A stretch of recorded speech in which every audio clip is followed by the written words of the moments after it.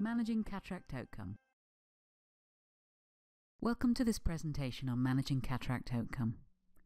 By the end of it, you should be able to describe the impact of outcome on surgical services, understand the World Health Organization guideline for cataract outcome, and relate to managing and monitoring cataract surgical outcome in eye units. There are several interconnected factors that affect the sustainability of cataract services. Firstly, to deliver efficient surgical services, we need to maintain high output. And this has to be balanced with providing high outcome of surgery to maintain patient confidence. Low cost of surgery is another key factor that helps fuel demand for services.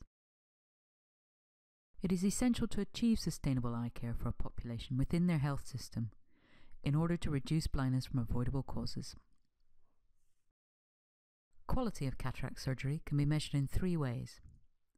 Psychological, the patient perspective. This is often linked with satisfaction with surgery.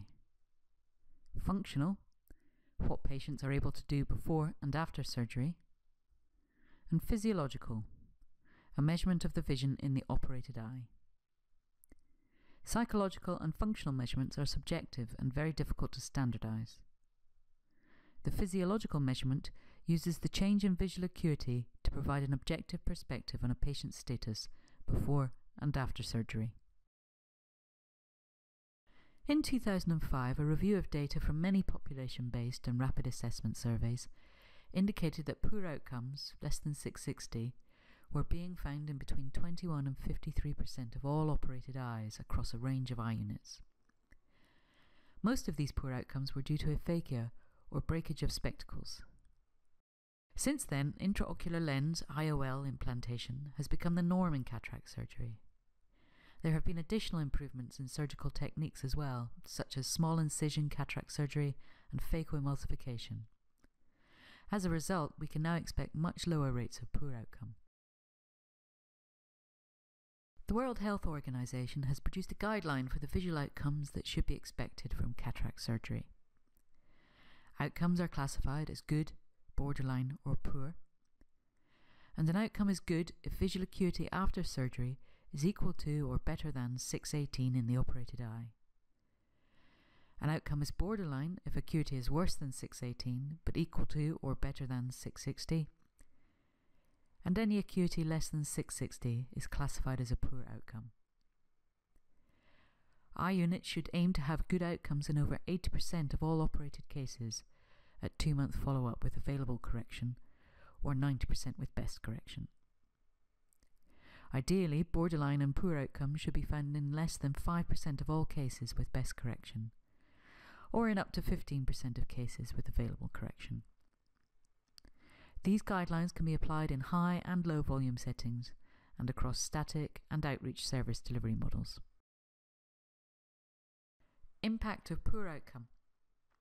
Vision less than 660 after surgery has a range of impacts. Naturally, it has a direct and devastating impact on the individual patient whose expectations have not been met. It also impacts on the reputation of the hospital or service provision at a community level often creating a long term mistrust of health providers. Reputation at the professional level also needs attention as issues for training and ethics. Poor outcome means fewer patients and decreased output. Fewer cases done means higher costs. Over time, these factors will challenge the sustainability of the service delivery, and the whole eye care programme may fail. Eye units need to look at outcome measures as a high priority and take corrective action. There are several causes of poor outcome. Selection of patients for surgery. Comorbidities, for example, can impact on final outcome. Surgical complications resulting from technique, procedure, or even lack of facilities. Failure to provide spectacles to correct postoperative refractive error can reduce benefit to the patient and finally sequelae, which are late postoperative complications such as posterior capsule opacification. Management to minimize poor outcomes begins at admission stage. A clear examination protocol and vision assessment should provide a sound understanding of any underlying comorbidities. Preoperative selection of cases, particularly in busy high volume settings, should follow a protocol so that patients with pre existing eye diseases, such as glaucoma or posterior segment disease, are not missed.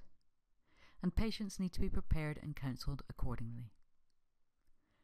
Surgical complications such as technique, infections, or appropriate IOL are important issues which are often overlooked in under resourced settings.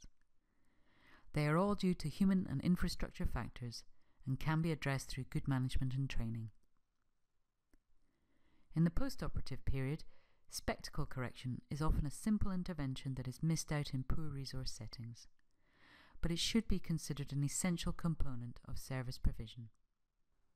Patients should be made aware of sequelae and appropriate intervention provided.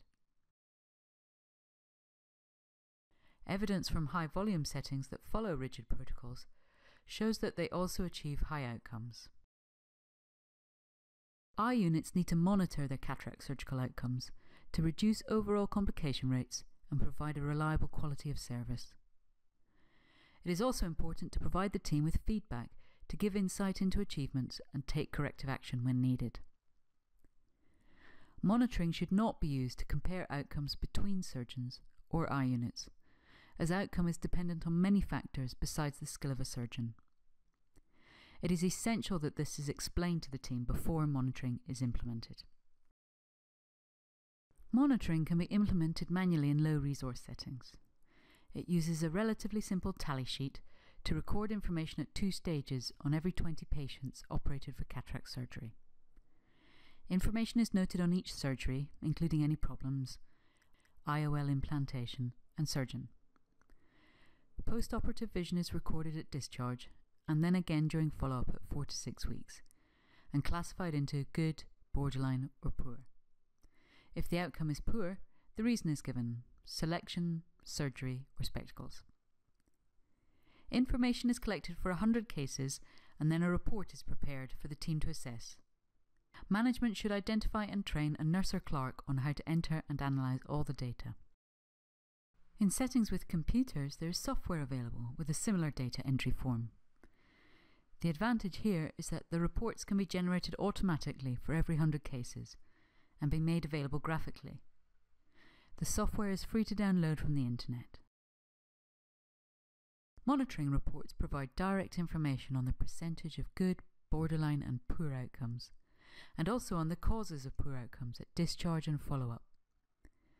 Additional information can also be gained on the age and gender of patients, first or second eye operations, visual acuity pre and post operatively, which can be used to understand the sight restoration rate, the percentage of IOL implantations, and operative complications by month. This is important for infection control. In conclusion, for good cataract surgical outcome, there are three clear steps to follow. 1. Use IOLs in everyone and always refract postoperatively. 2.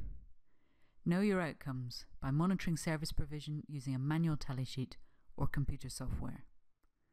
And 3. Take practical measures to avoid complications. Good outcomes of cataract surgery lead to high volume, sustainable eye care services.